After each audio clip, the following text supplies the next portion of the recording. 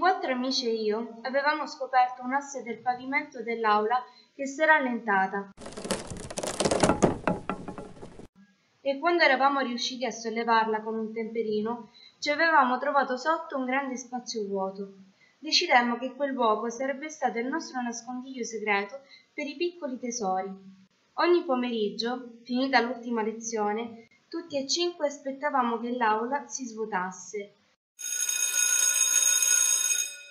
Poi sollevavamo l'asse e contemplavamo il nostro bottino, aggiungendo ritirando qualcosa. Un giorno, sollevata l'asse, trovammo un topo morto, lungo, disteso sui nostri tesori. Che scoperta eccitante! Twites lo afferrò per la coda e ce lo fece dondolare davanti al naso. Che ne facciamo? Puzza, buttalo dalla finestra, dai! Un momento, non buttare. Twites esitò.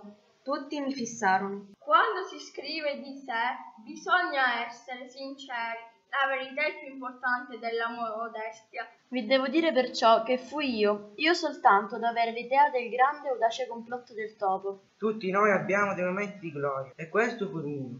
Perché non lo ficchiamo in uno dei barattoli della Precet? Così, quando ci infila la sua lurida mano per prendere una manciata di roba, si becca un topo morto e puzzolente. Gli altri mi fissarono sbalorditi. Poi, quando cominciarono ad afferrare la genialità della mia pensata, si misero a sghignazzare e mi diedero grandi pacche sulla schiena.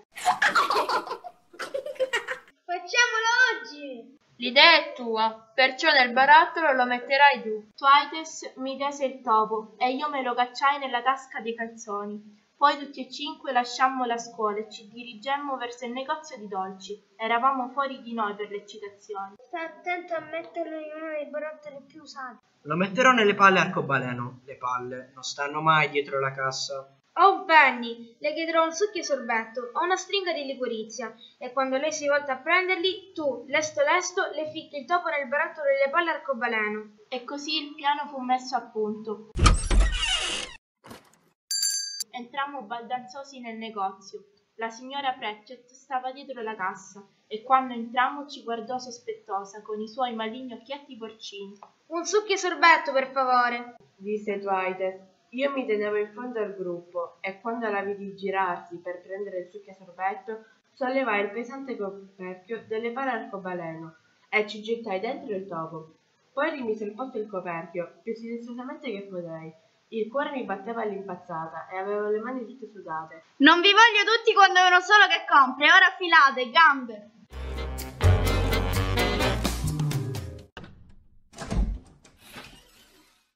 Una volta fuori ci mettemmo a correre. Ce l'hai fatta?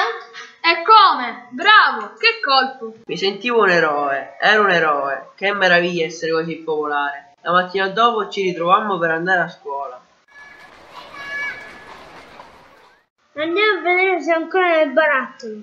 Assolutamente no! Disse deciso Twites. È troppo pericoloso. Passiamoci davanti come se niente fosse. Arrivati all'altezza del negozio, vedemmo un cartoncino appeso alla maniglia. Mai il negozio era stato chiuso a quell'ora del mattino, neanche di domenica. Cos'è successo? Cosa può essere? Guardammo dentro, il naso schiacciato contro la vetrina. La signora Prechet non si vedeva da nessuna parte. Guardate, il barattolo delle palle arcobaleno è sparito. Non è sullo scaffale, al suo posto c'è un vuoto. È per terra! È in mille pezzi e ci sono pane dappertutto. E laggiù c'è il topo. Potevamo distinguere tutto, l'enorme barattolo di vetro in mille pezzi, il topo morto fra i rottami e centinaia di palle multicolori sparse sul pavimento. Ha avuto un tale colpo quando ha afferrato il topo che ha lasciato cadere tutto. Ma perché non ha spazzato via ogni cosa e non ha aperto il negozio? Nessuno mi rispose, ci sentivamo un po' a disagio, non era normale che il negozio fosse chiuso. Nell'aria c'era un vago odore di pericolo. Dopo un po' Twites ruppe il silenzio. Deve aver avuto proprio un colpo tremendo. Dopotutto, trovarsi in mano un topo morto quando si crede di afferrare una palla arcobaleno deve essere un'esperienza sconvolgente, vi pare? Nessuno gli rispose. Beh, quando una persona di quell'età riceve all'improvviso un grave colpo, sapete no cosa le capita. Cosa? Cosa le capita? Le viene una crisi cardiaca, il cuore smette di battere e la persona muore in 5 secondi. Per un momento il mio cuore cessò di battere. Twides mi puntò un dito contro e dichiarò Ho paura che l'hai uccisa. Io? Perché proprio io? L'idea è stata tua e in più sei tu che hai messo il topo nel barattolo. improvvisamente ero diventato un assassino. In quel preciso istante sentimmo suonare da lontano la campanella della scuola.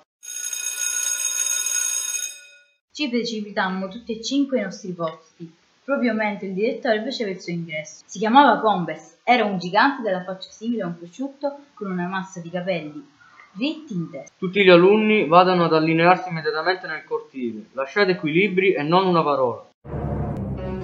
Io me ne stavo lì, piccolo e terrorizzato, in mezzo agli altri scolari. Sta cercando l'assassino. mormorò Twites, cominciai a tremare. Avevo l'impressione che lo stomaco mi stesse lentamente riempiendo d'acqua gorgogliante. Ho solo otto anni, mi dicevo. Nessun bambino di otto anni ha mai ucciso qualcuno. Non è possibile. Il vice direttore gridava. Allineatevi in fila, in fila, sbrigatevi, smettete di chiacchierare. In riga per classe. Mr. Combes apparve gigantesco e massiccio e dietro di lui, incredibile, la signora Pratchett in persona. Era viva! Evviva! Sussurrai a Twites accanto a me. Non l'ho uccisa. Twites non si degnò di rispondermi. Cominciamo da qui. Stava dicendo Mr. Combes alla signora Pratchett. L'afferrò per uno dei suoi braccetti ossuti e la condusse di fronte alla sesta classe. Ma che diavolo fanno? Sussurrai. Twites non mi rispose. Gli diede un'occhiata, era un po' impallidito. Troppo grandi. Dichiarò la Pratchett. Troppo grandi un bel po'. Nessuno di questi. Andiamo a dare un'occhiata a quei rospetti laggiù. Stavano avvicinandosi a noi. Erano vicinissimi. Improvvisamente la signora Pratchett lanciò uno strillo acuto e puntò un dito su Twites. È lui, è uno della banda. Lo riconoscerei tra mille, quel piccolo teppista schifoso. L'intera scuola si girò afflitta a fissare c- cosa ho fatto? Balbettò lanciando uno sguardo implorante a Mr. Combes. Zitto! Disse Combes. La signora Pratchett mi puntò con gli occhi e mi misi a esaminare il nero asfalto che ricopriva il cortile. Un altro della banda. Le udì strillare Eccolo là. e mi indicava. È sicuro? Altro che sicura, non dimenticherò mai una faccia. È falsa come quella, poi. Era nel gruppo. Cinque erano. Dove sono gli altri tre? Gli altri tre lo sapevo bene. Erano subito dopo di me. Con espressione velenosa, la signora Pratchett fece scorrere lo sguardo sui miei vicini. Eccoli. Lui. Lui e lui. Fanno cinque? Eh. Inutile guardare ancora, signor direttore. Tutte qua, quelle carogne. Ha preso giù i nomi? Eh. Le sono obbli- molto obbligato. E io a lei, signor direttore. E mentre il direttore le faceva attraversare il cortile, sentimmo che diceva Proprio in mezzo al barattolo delle palle era. Una carogna puzzolente di dopo. Non la dimenticherò finché è vivo. Nah.